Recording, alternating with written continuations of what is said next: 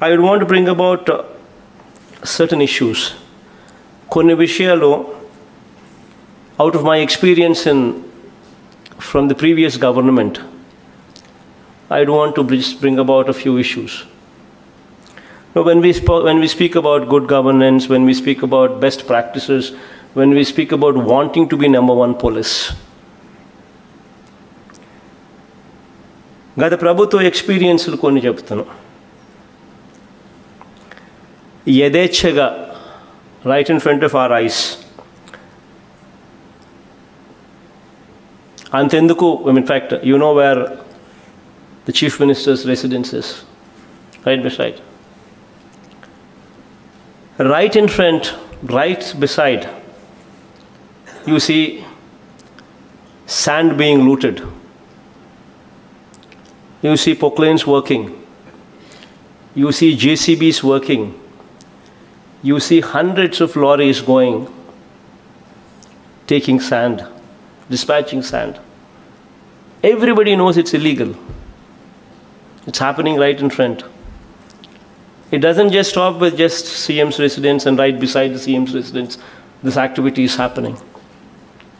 You see in West Godavari, an MRO, a lady MRO, was dragged out, was caught by hair. It hit all the newspapers because she was obstructing an MLA from looting. She was obstructing an MLA who was involved in sand mafia.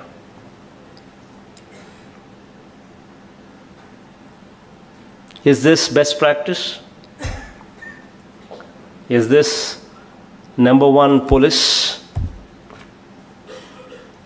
It just doesn't stop with West Godavari or this district here everywhere, all over the state, right in front of our eyes, Manakala కళ్ళ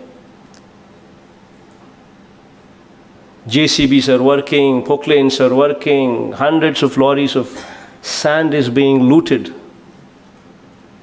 Yet we don't do anything. We know it is illegal. Is this best practice?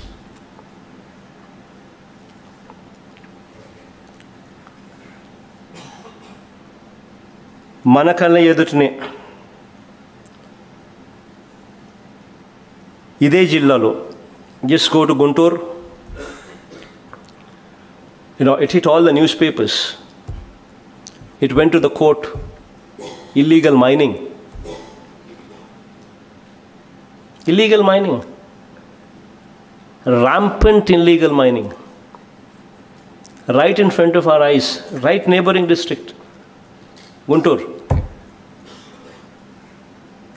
What did we do? Is this the best practice? Is this number one policing? We need to ask ourselves